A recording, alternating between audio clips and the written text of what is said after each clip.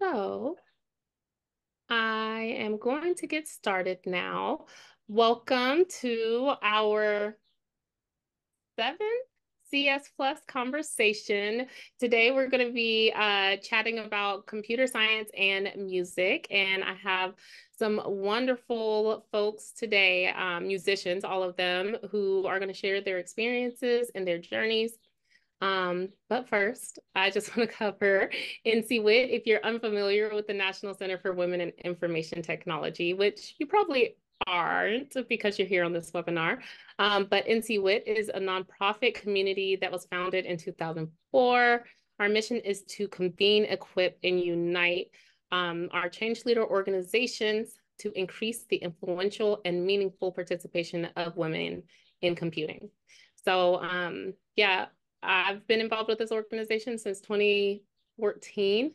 Um, and there are a lot of different aspects and components. We'll get into some of them today, but if you need more information about NCWIT, you can always hop over to ncwit.org um, and you know check out the resources, check out the there there's a lot. So I think that um, yeah, definitely take a look. Um, and then we would not be here if it wasn't for our sponsors, the Department of Defense STEM, which is the largest employer of civilian STEM professionals. Um, we are a part of the DoD STEM Consortium, which is basically a um, a group of organizations working to increase access to STEM education across the country. Um, if you want more information about the DoD STEM program and uh, the initiatives therein, please visit dodstem.us. And last but not least, if you did not know, we do have gift card giveaways. We do incentives here, y'all. Um, so the first one is for participating, being here staying logged in for the entire call. If I pop up a poll, respond to that poll, and you'll be entered into a draw, random drawing for a hundred dollar gift card. Um, again, that you re it's required to have full participation. You have to, you've already hit that first step, being on time. Now stay for the whole conversation, ask questions, respond to polls if you see them, um, and you can be entered into that drawing. And then at the end of this conversation, um, we'll ask for an evaluation from you. We like to give feedback. We want to improve the series. So if you evaluation evaluation, if you evaluate the series, then you can also be submitted into an additional drawing, $100. Um, that's how bad we want to hear from y'all. That's how bad we want y'all to be a part of this. So definitely, you know, participate and give us your full energy today. And now I am going to introduce our speakers. Um, and first, we're going to start with um, Roxanne Moore. Roxanne is a principal research engineer at the Georgia at Georgia Institute of Technology, working to research the intersection of engineering education, design, and artificial intelligence, with a focus on cultivating inventiveness. Additionally, she's a lead EarSketch team member, which is an innovative platform that uses music to teach coding. So, Roxanne, you want to say hi, introduce yourself a little further? Hi, everyone. Glad to be here. Like Brittany said, I'm Roxanne Moore. Um, I've been at Georgia Tech, uh, well, a long time. I did my master's and PhD there uh, in mechanical engineering. So my background is on the engineering side, but always a little bit of CS and numerical methods kind of sprinkled in there. I studied music uh, as an undergrad. So percussion performance was my other major that I didn't quite finish besides mechanical engineering. And now I work on a number of different um, programs and research initiatives around broadening participation in STEM. I also teach design and mechanical engineering. Um, so anyway, glad to be here. Uh, have lots of, you know, fun, interesting things in my background. I hope to share some of those stories throughout the webinar. Thank you so much. Okay, next we have Rose Sun. Um, Rose is a graduate student completing a master's in music technology at Georgia Institute of Technology. She works at the intersection of musicology, artificial intelligence, and data science with a mission to make creative practices more inclusive. Rose, welcome. Thank you for being a part of the conversation. Hi, how's it going? Um, I'm Rose, and I'm just really happy to be here as well. Um, as you said, I am a master's student. I'm in my final year um, at Georgia Tech, and I'm currently working on my thesis in um, the evaluation of AI-generated music, and it is from a music theory and music psychology perspective. Um, and then after that, I'm hoping to go to um, UC San Diego later this year to pursue a PhD in computer music. Yep. You, Rose.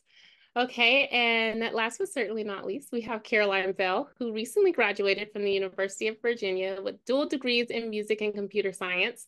Having played the violin for over 17 years, Caroline's passion of, for music inspired her to create an app to teach music to children in special education programs. So Caroline, if you want to take a moment to complete, round out your introduction. Yeah. Hi, everyone. It's such an honor to be here. And yeah, as just mentioned, I just finished um, my time at UVA doing computer science and music. So I am excited to just kind of talk about, yeah, my experience of bringing together these two unseemingly um, uh, not the same sort of areas and bring them together and to talk about them and say how I've had overlap in my own life. So thank you. So I like to get the talking juices flowing by playing a little game called Hot Seat. So the way that we're going to play this is I'm just going to rapid fire ask questions of y'all. We're going to go in order. We're going to do Roxanne, then Rose, then Caroline. Roxanne, then Rose, then Caroline. Um, so we'll get through as many as we can. I am going to start the timer. Um, and the questions are all fun, so don't worry at all. Okay, Roxanne, if you had a private jet, what would you name it? Oh.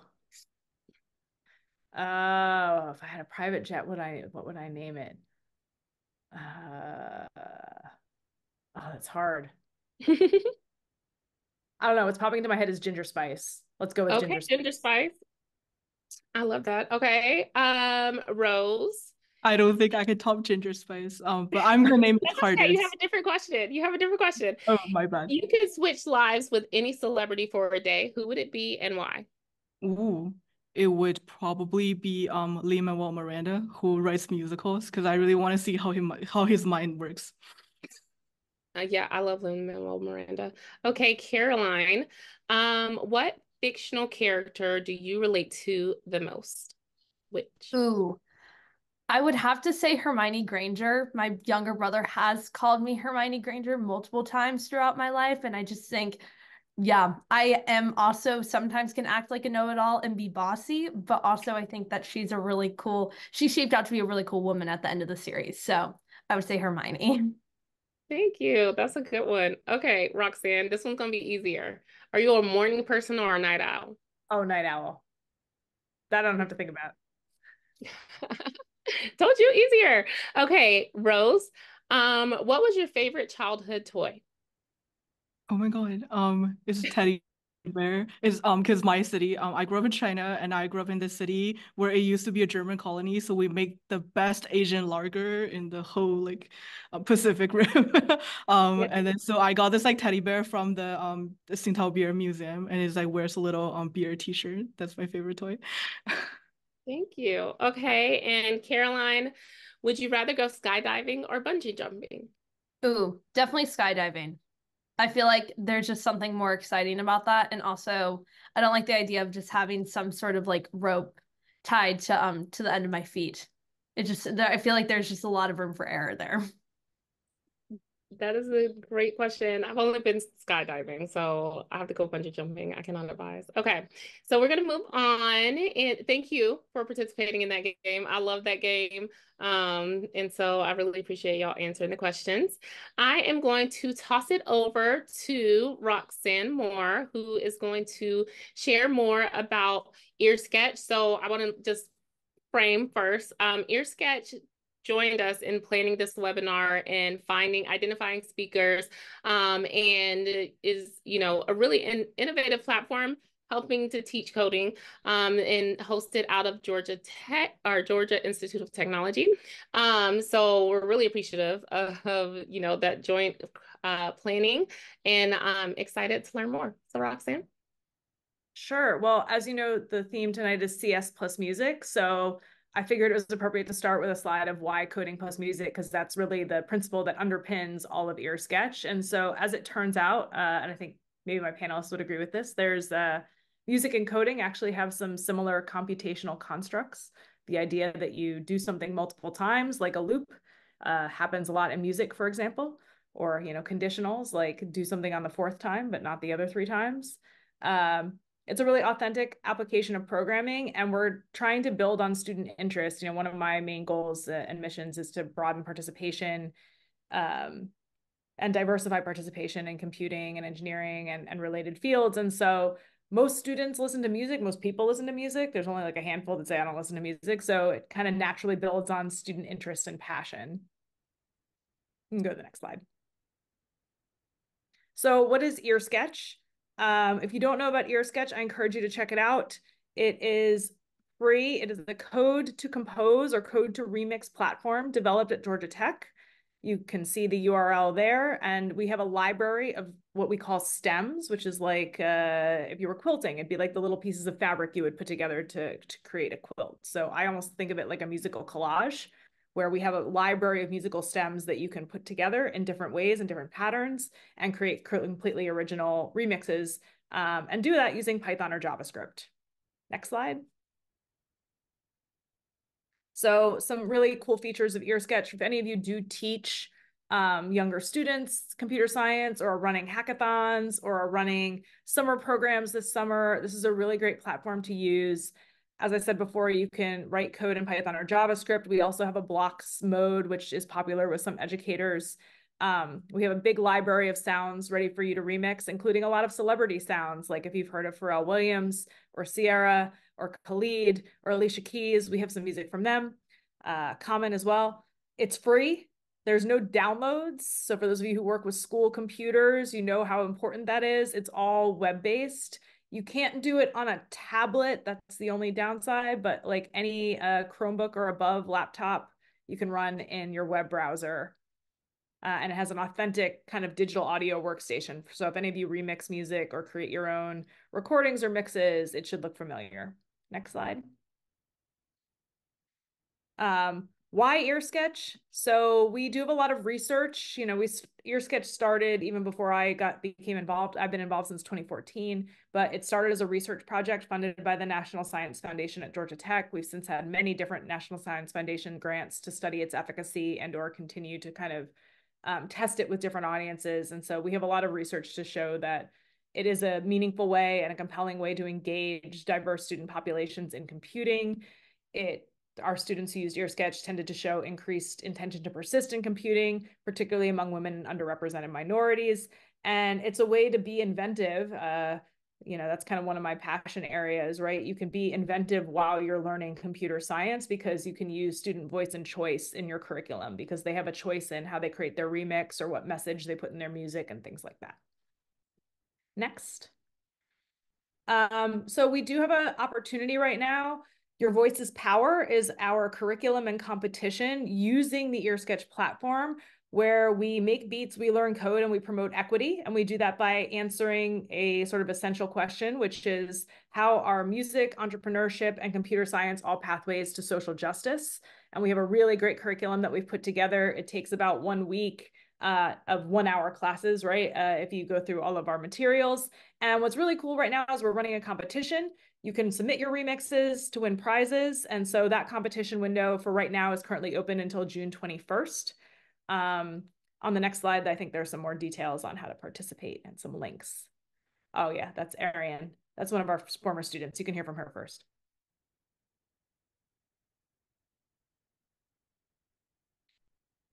There's no sound though. Ariane Panier. Okay, that's all I'm I'm Oh, there it is. A- that one- Oh, I have to the be Georgia. Tech Okay, Music coding. let's start it over. Hi, my name is Ariane Panier. I am a 12th grader here at Palm Beach Gardens High School, and I am so proud of myself to have won the Georgia Tech Music Coding Competition. I was able to create music, not with my voice, not with any instruments available to me, but just with the computer in my hands. Grateful, grateful, you pick a drum, you pick vocals, you pick horns, you pick like what you want the beats to go. So it's a lot of math as well. And I got to put my creativity and my mind into my work. And that's all me. Like the music is all me. The songs also have a deep message about Black entrepreneurs. Black people are able to do anything that they put their minds to. It's entrepreneurs, so we can be whatever we want to be as long as we put our minds to it. And our melanin is not something that is to hold us back, but to push us forward. I'm very proud of myself because not only did I win $5,000, I won it by doing something that I love, which is music. And I won the competition. 1,500 people were in this contest. I'm like, this is a big deal. We were just excited. It was it was an exciting time for us. Quite an amazing feat to to use coding to come up with such a a message, but also a song and a beat that is catchy and people want to listen to over and over again. The description is it's a song to uplift Black people computer science is in every area of life. And we're trying to make sure that kids, when they go outside of school, they, they're ready. They're ready for this digital world. I hope you enjoyed the music and please remember that your voice is power. You turned on the light.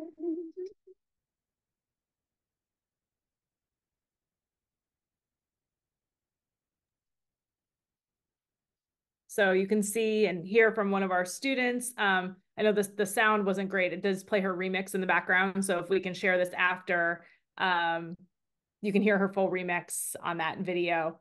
Uh, I think the final slide, yep, this is just has more of our competition info where you can find information. Uh, this is a good one to start with teachers.earsketch.org slash compete. You can also follow us on social media. Um, and there's info also on the Amazon Future Engineer site as well. But this is really the main one, teachers.earsketch.org slash compete. And if you want to email our team, escomp at gatech.edu is the way to do it. Uh, and that's pretty much it for me. If anybody has any questions, happy to answer. Thank you. I am so sorry. I didn't share it properly to share the sound, and I couldn't tell if the sound um, was working. But I will share that video and also the link to um, for the competition in a follow up email. So don't worry, y'all will get that information for sure. Um, that's really cool, though. The sound did. I mean, I heard it. The song did sound fire. So um, we're gonna go ahead and kick off our panel questions um, and just get get into the conversation. So if you have any questions, if there was a reason that you logged onto this webinar to learn something you wanted to learn, um, definitely feel free to drop it in the chat. Um, and also just like to remind about the incentives to stay on the webinar for the entire time and also evaluate. So definitely listen up, uh, let us be a part of the com- or be a part of our conversation and let us know what you think after. Um, so first question that we are going to have, and I will um, kick us off with Rose. Rose, what inspired you to pursue your current career path?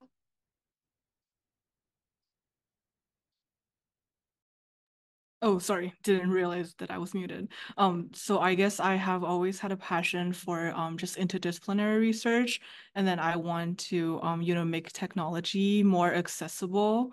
Um, and I feel like there is this gap between, you know, just the um, complex technological tools and like humanities. Um, the the humanities and social science subject, but I feel like just bridging the gap would really foster more um, inclusive innovation. And um, it it is particularly like important in fields like computer music, um, music technology, where like integrating diverse perspectives would really enrich both the technology and the creative pursuit. Um, I guess that's why I want to do um, music technology. Thank you. And we're going to move to Caroline. What about you?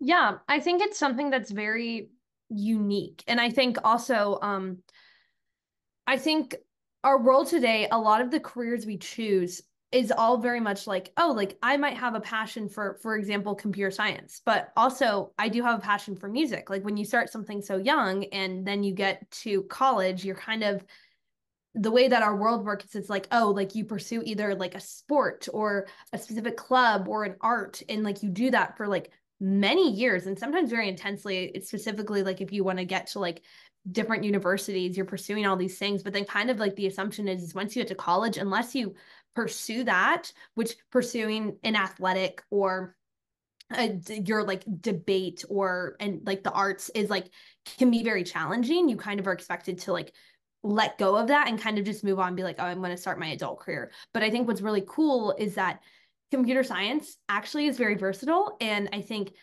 it's really cool to combine passions together. It doesn't have to be like, oh, I'm just going to do computer science or I'm just going to do music.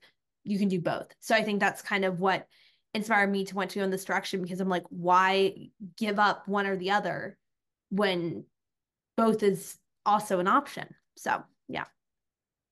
Thank you. Roxanne, can you tell us about what inspired you to pursue your current career path? Uh, what is my current career path? No, in, in all seriousness, it takes a lot of twists and turns, right? I think something I would tell my younger self and something that I try to tell my students now is like, I think when I went to undergrad, I expected to like learn everything I needed to know in undergrad. Doesn't mean I was going to stop learning after that per se, but I think we have in our heads like, oh, I have to get everything I'm going to need for a potential job or a career at this time in my life. And that's really not true. Right? Yes, it's setting you up to get out the door, but then so much happens after that.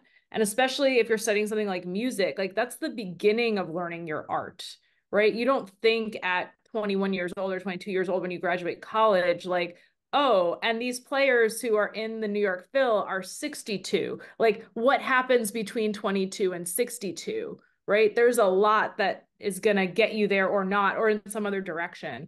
And so whether that's computer science right computer science doesn't look the same as it did. My dad studied computer science in college in the 60s right? It was punch cards right? So all of our fields are going to evolve and i think you have this choice about how you're going to pursue your passions or your craft. And so i i made a lot of career decisions fairly impulsively but like a lot of times my intuition was spot on.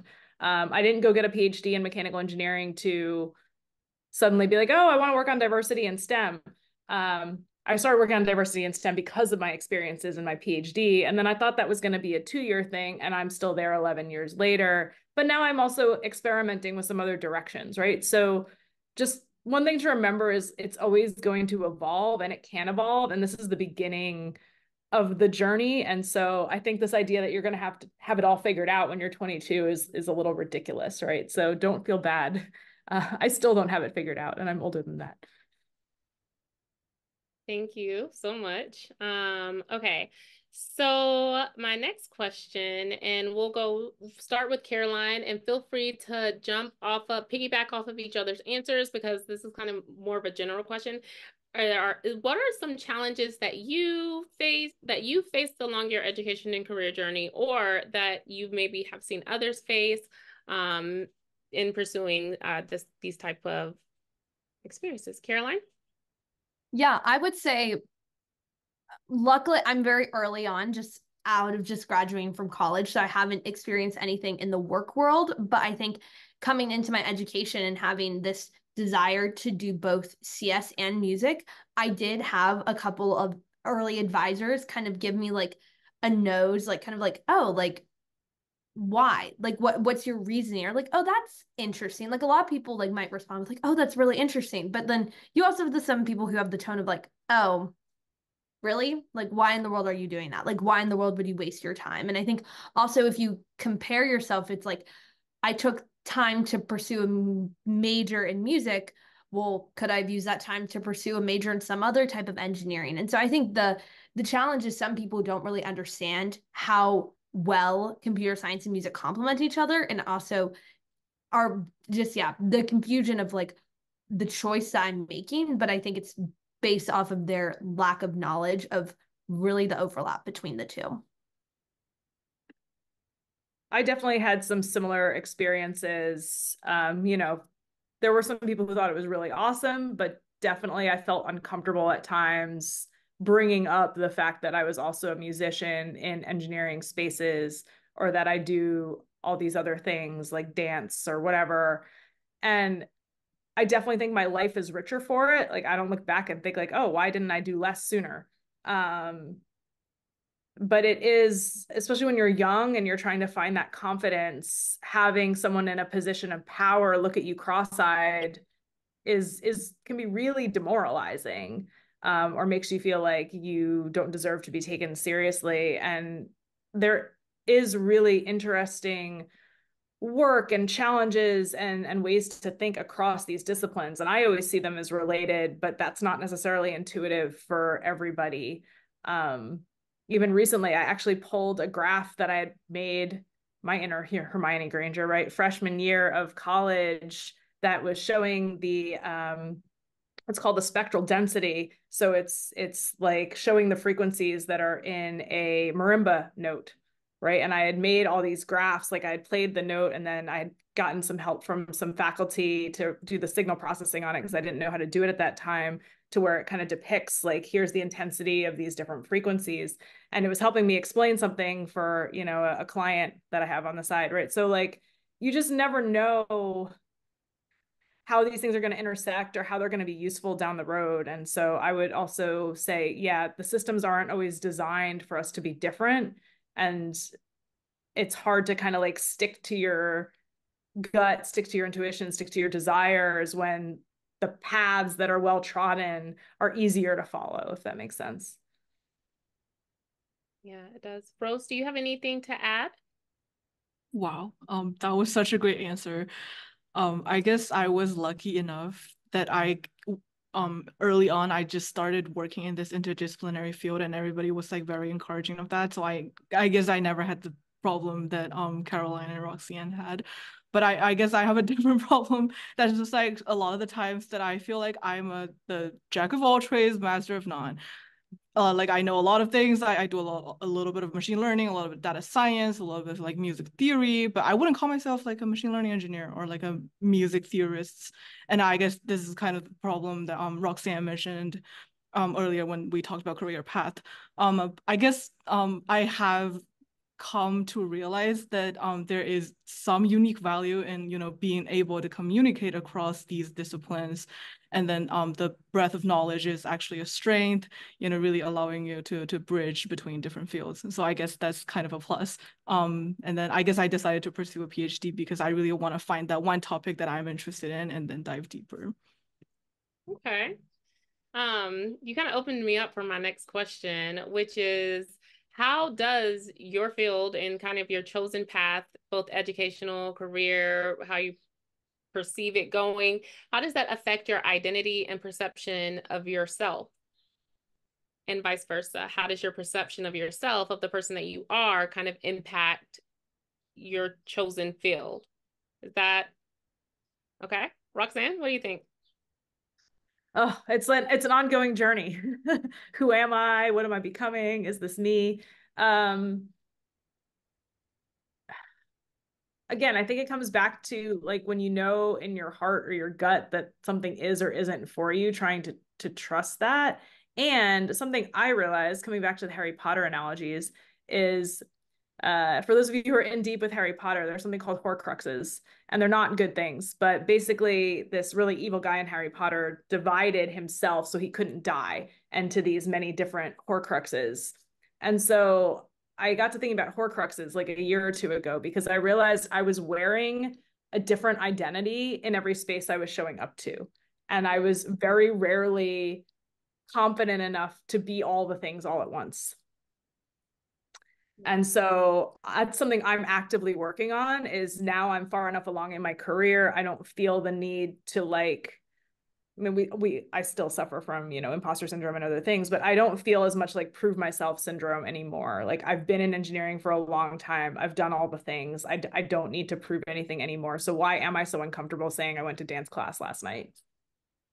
Right. And so that's something I've really been pushing myself on is, being more open about these multiple identities that I have, being more open that hey, I wrote a song, being more open that hey, I I do music on the side or whatever or or together, right? Because I'm also involved in some work that's around like design and the creative process. And guess what? Like musicians follow a creative process, engineers follow a design process. They don't often use the same language. Right? But they're doing a lot of the same things. They're following a lot of the same steps. So if you're in any kind of space where you're kind of coaching creativity or ideation or inventiveness, right? There's a lot you can learn from how both fields create, create something new. So that's something I'm still working on is like I am am all these things and owning all of those things and being all those things in all of the spaces and not feeling like I have to like check my creative identity at the door to sit in a meeting about engineering, if that makes sense. It does. I think that that's a perspective that I've heard a lot um, being part of the aspirations in computing community of like feeling like in order to be taken seriously as an engineer in these more technical roles, you have to set aside um, the the honestly fun parts of yourself. Like dance class is definitely, well, I say dance class is definitely more fun than coding, but somebody else will be like, nah, girl. Um, okay, Rose, Caroline, do either of you have anything to say about your identity impacting your field? Vice versa? No? Okay. I feel I feel like um Roxanne just said it so well, and I think I'm still navigating what it means to like um just discover who I am as like a computer scientist and a musician and like especially exploring that in the workplace because in college it's relatively simple. Like I'm able to be like, well, I am both computer science and music because those are my majors. But when I step into working next year at Capital One as a software engineer, what about the portion of me that's like I'm also a musician as well? So definitely something I am excited to explore, even though I'm imagining there's going to be some challenges as well. So Thank you. Yeah, no, I absolutely agree. And I do think um, the both of you articulated it so well. Um, but I think another important thing, you know, when you're doubting yourself or just like thinking about identity, um, is is that to find your community, find your people, and um, I think that's exactly what this webinar is for. So. Don't cue me up like that, Rose. Okay. So let me, I'm going to share my screen actually, because that is what this webinar is about. Um, so one of the other things that NCWIT does, um, one of the programs is the Aspirations in Computing Community. I'm going to have a quick commercial break. I promise I will go fast. Um, but check out aspirations.org. Um, and I will put it in the chat after I'm done talking to learn more about um, this this organization and the work. Um, so the in Computing community is a community of women, genderqueer, and non-binary people in technology. Um, we start at the K-12 level and resources, opportunities, um, networking, go all the way through career, um, and beyond. Um, also, the AIC um, community is tied to a number of awards um, for from Aspirations in Computing for, again, different levels.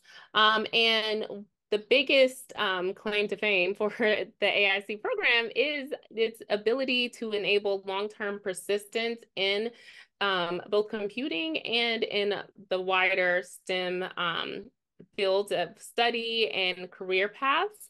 Um, and so we like, well, start with for um, the AIC community, you can start in high school um, and go through college into graduate school. There are a number of like um, entry points, and most of the um, members are identified as non-white. So it's a very diverse group of people. Well, not most, 50%. So it's a very diverse group of people. Um, and so it really does help to inspire the community um, and to also help people identify their own, you know, their own community, help people find their people um, within the the realm or the space of technology and computing.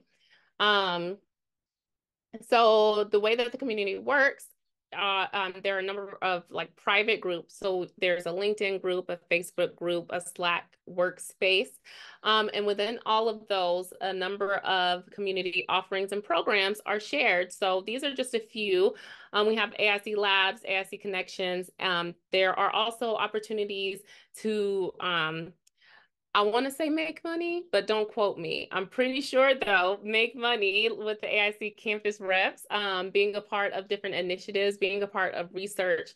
Um, there are opportunities to host aspirations in computing events like on your ground, on, on your in your campus, at your workplace, um, in order to kind of expand um, the the opportunities of those around you. Um, there is a special Aspirations in Computing career fair where NCWIT's Workforce Alliance partners um, come just to talk to AIC members um, and to, you know, if you've ever been to a career fair at like SWE or even at your college or university, they can get rather intense and crazy. Um, and so our programs, this program specifically, the career fair, is an opportunity to have a smaller environment and to make sure that you have the opportunity to talk with the educators, I mean, with the employers. Um, as I mentioned, there are AIC awards at the high school and collegiate level, um, as well as for educators. So it's not just for, again, students or workforce or um, anything. We are also, we have resources and programs for educators. Um, and then just like you're sharing your story, well, just like these these wonderful people are sharing their story today, um, we have a wider AIC Stories campaign um, where we feature technologists and share their stories with um, our audience via social media and other strategies. Um, I mentioned the multiple awards. So we have the high school award, the educator award, the collegiate award, and then there's also the impact award. And I'm going to dive a little bit deeper into the impact award because it is open right now. Um, in the AIC Impact Award, formerly known as the AspireIT um, Impact Award, recognizes members of the AIC community who create computing experiences for girls, women, genderqueer, non-binary students uh, all ages. And that's one of the reasons that, um, well, one of the many reasons that we looked to partner with EarSketch for this type of webinar because we um, we being aspirations computing um, the program is really about you know creating those near peer mentoring experiences and passing it along and building that community. And so we encourage you there's a, we have an entire toolkit. If you want to be that person that goes and starts your own summer camp to help expand and broaden participation in computing to, and get these opportunities to you know at the ground level of where you're from um, aspirations in computing can help with that. NCWIT can help with that. Again, there's a whole toolkit where we step by step by step, very ex um, extensively through all of those things. And because we're looking for people to do that, we want to honor the people that are doing that, right? And so our Aspirations in Computing Impact Award is open right now. If you are though that person um, who is starting camps, mentoring after school, um, you know, just sharing yourself, giving of yourself in that way, um, and you meet the eligibility requirements, definitely go to aspirations.org so you can learn more information about the Impact Award and maybe apply. Um, we choose a great number, I think I don't want to lie, but I'm pretty sure we chose over a hundred last year. So um, definitely there are a number of awards to um, give out and a number of people to recognize for the wonderful work that they're doing in the community. And why apply? In addition to getting a national award, because NCWIT is a national organization, you get $500 cash money, um, and then also get public recognition on our aspirations.org websites, NCWIT social media, um, and you just get that promotion and um, kind of social capital building. And then we also give you a certificate. So definitely consider uh, joining the Aspirations in Computing community. You can scan this QR code um, to learn more. I will also send out information um, in the post event email about both the award and the community. Um, and if you have any questions, let me know. So I'm going to stop sharing again, and I am going to start the questions off with a couple of direct questions about EarSketch, which I think this is a great segue because we are just talking about using things to maybe teach people things. So um, the first question that we got is the competition is a great idea to create awareness. Is there like a competition in a box or other sort of resources available? Give us give us an email. Um, we we do have a lot of partners running competitions. That's probably going to be the way of the future. Uh, you know, full disclosure, we've had you know support from Amazon Future Engineer to kind of do these national level competitions, but I think the future is local level competitions or partners running competitions, and so we have had partners run their own thing. Um, sometimes without asking us, which is fine, except that like we can also tell you what not to do because we've done them already. So I'd recommend reaching out and just kind of seeing how we can partner. Um, the curriculum is all online, it's all free, right? So there's nothing stopping you. It's more just the know how of how do you collect the entries? How are you going to judge the entries? What are you trying to get out of it, right? Like there's a number of different ways you could go about it. So we would be happy to advise um, if if you're thinking about doing that. And for the competition that you're currently running, is it like a um like a group sort of thing you enter as a group or is it an you enter uh individually or with a partner? Individually or with a partner. Okay. And so if like an educator wanted to have their students um sign up to do that, you'd be able to kind of provide them with some resources and everything for how to get their students started. Yeah, the educator resources are all there in terms of teaching it. And then it's open to students age, I forget what our minimum age is. I want to say like minimum 12, but like 12 to 18. Um, and so they can work by themselves or in pairs. We have all the teacher uh, materials up there. All the curriculum is available. You really don't have to know how to do it. You just have to have a little confidence and let your students get started and point them in the right direction. I mean, I've done a, a lot of EarSketch webinars with teachers and with students and one good thing about it is it's sort of like immediately engaging. You don't have to know a lot to start making a remix. And then obviously the more you know, the more you can do, but um, don't be afraid to start, even if you're new to coding.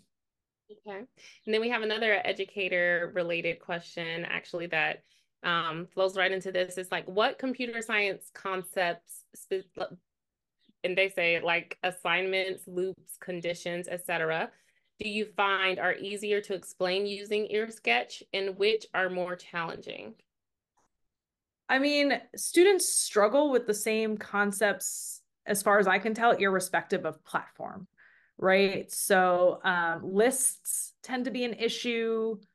Um, the idea of a variable is very abstract. So you have to do that in pretty much any coding language. It's not any harder or easier to do it in EarSketch than it is anywhere else. You just kind of have to wrap your head around what that is, right? Um, loops may be more intuitive in EarSketch because you can hear them. Uh, but again, it's a more advanced construct than just you know a simple line of code kind of calling a command with the right parameters right? So we see some typical hurdles in EarSketch where it's like harder to get to certain levels once you're stuck at one. Um, but it's not like notably better or worse for teaching those constructs. We did see either comparable or like similar or, or higher performance on um, like content knowledge tests but again that's not that's the the research side of me talking right? Like it should be comparable and reality sets in right? That a student is not a statistic. So i would say for something like a loop being able to see what you're doing right? Because it has that visual piece in the digital audio workstation that makes it really compelling. But the idea of a variable is just sort of abstract. So you'd run into that whatever you were doing. Okay thank you um yeah i think yeah, I think EarSketch is really cool. I like the idea of being able to like make a beat, make a song without because I like to think that I could learn how to be a DJ or something like that, but who has the time to start a new hobby? Not me. Your girl has like 35,000, but um yeah, I played around with it and y'all don't know me, but I'm very technically challenged and I was able to get some things going. So definitely check it out. And if you are an educator and you're seeking to um, use it in your classroom, or like we mentioned, if you're trying to um, get a group going to be a part, a mentor group to be a part of the competition, or use the EarSketch platform um, to maybe run a summer camp you know like we just talked about summer is coming. Um definitely reach out to the team at EarSketch and i'll include all of her um, roxanne's contact information in the post event email so um that you will have access to that. Um, so I want to pivot a little bit um, and talk about your like I don't know how to frame this, but I, I guess I just want to start with um, what skills, mindsets, or characteristics are valuable for someone that is thinking of pursuing um, either a career or an educational program um, in computer science or and or music, preferably the and because we're focusing on the intersection. Um, so just from your own experiences, what skills, mindsets, or characteristics do you think would be valuable? Um, we'll start with Rose.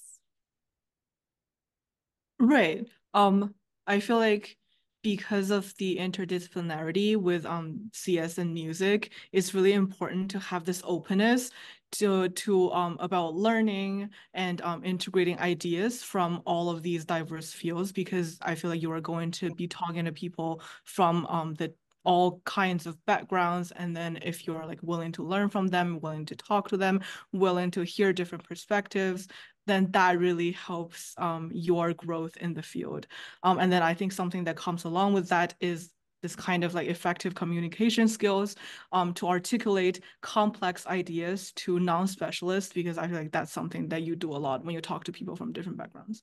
Yes. Thank you. Caroline, Roxanne, anything to add? Yeah, I would say like a similar vein, but a different word being used is curiosity, because I think something that's very cool about the fact that like you don't see there's not like endless amounts of CS and music programs um, in the educational sphere right now. But I think having that just innate curiosity of like, what can the combination of these two things do? So, like, for example, the app I created that teaches music to special education students, that came from asking the question of like, like, why isn't this a thing that I've seen before? And what if I took the time to like get involved in doing that? So I think having a curious mind, I think stems well into helping you to pursue different things in the field that a lot of things that might have never been done before. That curiosity comment makes me think of Roxanne and the inventiveness. Do you have anything to add, Roxanne?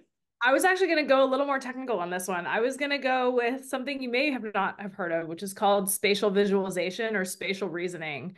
Um, it's an interesting idea there's different ways that it's measured. So one of the ways that it's measured is like, can you take an object and in your head kind of like rotate it and see what it looks like from a different side? That's one of the many different facets of it. But something that was um, found by one of the researchers in engineering education several years ago was that if you looked across um, undergraduate engineering courses, women come in with statistically significantly lower spatial reasoning than men on average. And we don't know why that is. It may be like fewer video games, it may be like less Legos, like we just don't know, right? But you can build that skill, right? There are exercises and things you can do to enhance your spatial reasoning. And it doesn't just apply to obvious things like 3D design. It applies to like multi-step math. It applies to computer science your ability to construct an algorithm. So i would say like the more you can kind of flex that muscle and work on it it's going to help you in both spaces because you're going to be able to see how to do things whether that's write a song or write code to do something right so i'll, I'll go more technical on this one but i think the other ones are great too right yeah i love that i um yeah that's that's really cool I had a thought, but it just evaded me. Okay, you're talking about though flexing your muscles using like continuous learning. Um, what are some ways that individuals, whether they be in high school, college, workforce, could seek learning opportunities or grow their skills? Or on the flip side, how do you seek learning opportunities or grow your skills um, in these fields? We can start with Caroline. Yeah, I think for me, I'm a big goal setter. I think that has been recently what helps me be like, okay, like I have all these big plans, all these big ideas for like my education and my career, but like if I'm not saying down any goals, that's not going to help me. And I think once I do that, it allows me to go and there are so many good like free resources available on the internet right now. I think doing that, but then also talking with people, like even I'm so inspired by both like Rose and Roxanne and am going to reach out after this because I'm like, I have so many questions about like the career path that you have pursued and like me I think with CS and music being so niche, I think utilizing the networking, the connections that you're able to find, I can't think can help you then to kind of build your skill set because it's not like I'm like, oh, I'm going to go join this program. It's like, oh, what have you done and what resources do you have for me? So I think that's kind of, I think setting goals, going out and utilizing free resources, and then also like finding connections and utilizing your network. Thank you. Rose? Yeah, um, I think that exactly what Caroline said. Um, just like, you know, putting yourself out there, talking to people, connecting with people. Um, I guess I could, you know, go into a um I mainly make my connections by like going to, you know, academic conferences or just like doing, you know, some kind of workshops or online platforms like this one. Um, but then connecting people really opens up your um, perspective. Thank you. I remember what my comment was going to be to you, Roxanne. I love, okay, so one of my favorite things about NCWIT is now also one of my favorite things about EarSketch, and that's like the commitment to research based, um, you know, evidence backed strategies and making and understanding the science. I've never heard that spatial reasoning um, thing.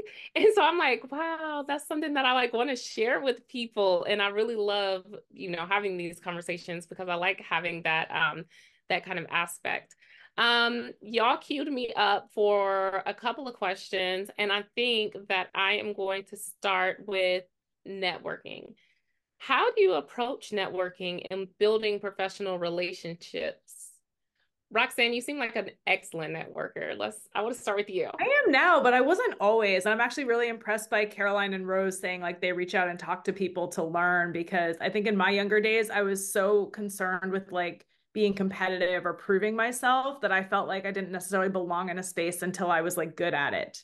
And now I don't feel that way so much anymore, right? I'm like, oh, I want to learn this. Let me go talk to people who do it all the time. And very few people don't want to have the conversation of like, how do I be more like you? Right. so I think I've kind of changed my tune, like, oh, make friends first and then get good at it, as opposed to feeling like you have to be good at it to make friends in that space. Um, and then also, I just feel like everybody has an interesting story right? Like I pick up on people's energy a lot too, right? I don't know. Sometimes people just like immediately kind of like, you and I, you and I vibe. Why, right? And it could be the most random person in the world, right? So I don't know. I have interesting conversations on planes like regularly. Mm. Sometimes I have to be like, I am not talking to anybody on this plane because I really need alone time. But you know, it's it's interesting. Sometimes I just have conversations with perfect strangers on airplanes where they're like really rich. So it just I, I approach it so differently now, right? I'm not like looking for something. I'm not asking you for a job. Like there's no ask, right? There's just, I want to know more about you. And maybe you want to know more about me. Um, and so just that curiosity to bring it back full circle is is really key for me. Thank you. Um, Rose, how do you approach networking? You mentioned academic conferences, you mentioned um, online platforms are there any are there any other strategies you want to share? I don't know. I feel like I I am definitely not at where Roxanne is at. I definitely don't have the social skills to do that. Um, but I feel like something that really helped me was like to start small. Maybe it's like a little collaboration with your peer. Um, maybe it's like you know some um someone at your school. Um, or it maybe if there's like a big name or it's like a professor who's doing something that you're really interested in, maybe ask your advisor to make the make an introduction but it's just like something that's small and not intimidating um, really helps you make that first step. And then from there, you connect with more and more people. Thank you. Caroline, anything to add? No, I don't think so. I think they covered it very well. Okay, perfect. Um, so this is going to be my final question. Um, and so I just want to thank you all for your time. I will share slides again um, after we get the answers to this, but yeah, I just want to preempt with a thank you. Um, what is one piece of advice you'd give to someone starting out in your profession? We can start with Caroline. Oh, I would say kind of it, it is a piece of advice if anyone is kind of on the fence is to just do it. Um this past year i met a um a first year at UVA who said that she was studying computer science but she also wanted to do music and i was like do it. Full send it just don't ask don't let anyone tell you otherwise. It's an incredible thing. And i think for me it's been so beautiful to like find to kind of pursue a career that really has been full circle. I remember going into high school and being like, oh, one day I would love to see what I could do between technology and music. And I feel like it's very full circle now, like coming to the end of my educational like experience and about to step into the workplace and be like, how can I continue to live out that mentality of like pursuing these two passions? So I think my one piece of advice is just do it. Highly recommend it. It's a wonderful, it's a wonderful career choice. And I think just a very fun adventure to go on as a professional. I can't help but say, like, okay, Nike, just do it. Okay. Yeah. Yeah. Um, Rose, what's one piece of advice you'd give? Um, that mine is probably kind of um similar to Caroline's. This is like um I guess embrace the um interdisciplinarity, embrace the diverse field that you're in. Um, do not you know hide away from it. Do not be like oh maybe i do music and it's not as technical as like other maybe machine learning cs people. Just like really embrace it and like make it part of who you are. Thank you. And what about you roxanne? Okay i'm gonna go with find mentors but really more specifically find your fan club. Mm. Right because there are plenty of people who are willing to tell you what you're doing wrong which can be very valuable under the right circumstances, right? Part of teaching and part of learning is being willing to receive how things could be done differently or better. But I think to have persistence in the moments of like everybody's telling me no or i just got side eye from somebody or you know is this is this even the right thing to do find people who are fans of what you do that you can reach out to or who reach out to you periodically and tell you like don't worry about that guy just keep going right? Um or try this instead or can give you some approaches so that you don't feel like you're tackling it alone. Thank you. That is a really good point. The fan club i've never heard that. Um but i like that. Find your fan club. Okay so I want you all to improve, help us improve this series. Um, you can use this QR code or um, also this bit.ly link. Um, and I will, again, send it out, post this event. Um, but thank you all so much for joining us and participating in today's conversation. Thank you so much to our speakers for giving their time and sharing their stories and their journeys. Um, I really appreciate it. And yeah, we'll see you for our next webinar, which will be CS plus gaming. And I will share more information in the post-event email. Thank you so much and have a great day. Thank you. Thank you for hosting. Thank you, everyone. Yeah, thank you so much. It was nice to meet you both.